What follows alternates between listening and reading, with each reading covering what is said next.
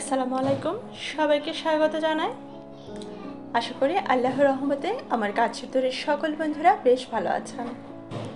আলহামদুলিল্লাহ, আমরাও বেশ ভালো আছি। আজ অনেক দিন পর আপনাদের সাথে ছোট্ট একটা ব্লগ শেয়ার করছি। আশা করি আমার সকল বন্ধুরা শুরু থেকে শেষ পর্যন্ত আমার সাথেই থাকবেন। আজ আমার সাথে আপনাদেরকে নিয়ে যাচ্ছি চট্টগ্রামের নিউ মার্কেট। তো আমরা সিএনজি করেই যাচ্ছি। বাচ্চারা আছে আমার সাথে। আর আপনাদের সাথে আজ শেয়ার করব বাংলাদেশে বর্তমানে বাইশ ক্যারেট গোল্ডের প্রাইসটা অনেক সময় আমরা এখনও কনফিউশনে থাকি, এক এক জায়গায় এক একটা প্রাইস বলে।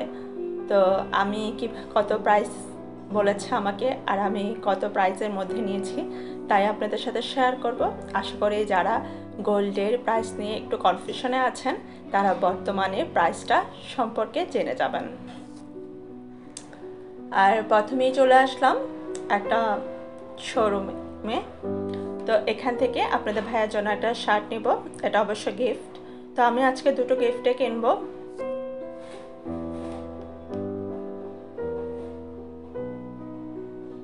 এখানে সব কালেকশনই ভালো, আমার খুব ভালো লেগেছে।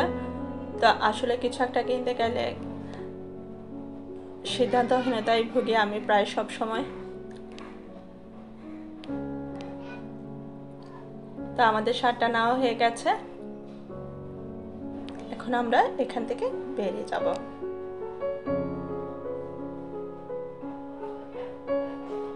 এখন আমরা চলে যাব দোতলায়। দোতলায় সব গোল্ডের দোকান, নিউ মার্কেটে। তো আমরা তো তাহলে চলে এসেছে। এখন আমরা গিফটের জন্য একটা গোল্ড রিং নিব। রিংগুলো মোটামুটি সবগুলো অনেক সুন্দর ছিল। তারপরেও ওজনের সাথে মিলে না। প্রাইজের সাথে, ওজনের সাথে মিলে না দেখে অনেকটা সময় আমাদের লেগে গিয়েছিল।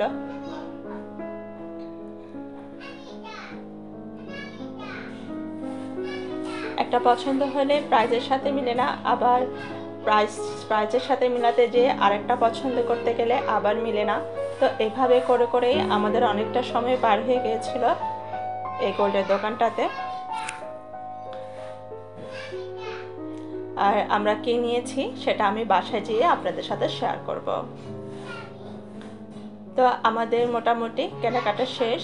আমরা ফারিহার জন্য কিছু জিনিস নিয়েছি। এই তো। তারপর আমরা বেরিয়ে যাওয়ার সময় ভাবলাম মার্কেটে আসলাম। ফুচকা না খেলে তো চলেই না। তো ফুচকা খেতে বসলাম। আপনারা কারা কারা ফুচকা পছন্দ করেন, আমাকে আমার সাথে কমেন্ট বক্সে শেয়ার করতে পারেন। আমার কিন্তু ফুচকা খেতে দারুণ লাগে।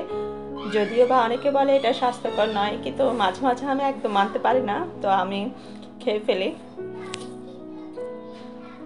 আর ওদের জন্য অর্ডার করেছিলাম বার্গার তো মোটামুটি সুন্দর একটা বিকেল কেটেছে আমাদের। আমরা কিন্তু সর্বোচ্চ টু আওয়ার্স ছিলাম মার্কেটে।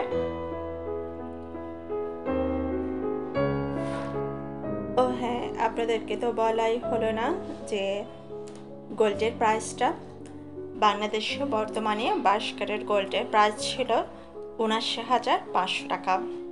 তো এক এক জায়গায় অবশ্য এক এক রকম প্রাইস তবে আমি বর্তমানটা যে প্রাইস বা যেটা দিয়ে নিয়েছি, সেটাই আপনাদের সাথে শেয়ার করেছি।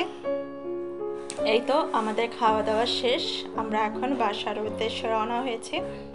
আর খুব সুন্দর একটা পরিবেশ ছিল, ঠান্ডা ঠান্ডা পরিবেশে আমরা আমাদের কাজটা সম্পন্ন করতে পেরেছি, আলহামদুলিল্লাহ। আর আপনারা দেখে নিশ্চয় বুঝতে পারছেন, আমরা এখন একটা ফ্লাইওভারে আছি। খুব সুন্দর দেখা যাচ্ছিল। মানে আকাশ, তারপর বিল্ডিংগুলা মাঝে মাঝে গাছ, অন্যরকম একটা ভালো লাগা কাজ করছিল দেখতে। যদি বা অনেক উঁচুতে ছিলাম, অনেক ভয় লেগেছে। তো যাই হোক, আলহামদুলিল্লাহ সব কিছুর জন্য। তো এই তো আমরা এখন বাসায় চলে এসেছি।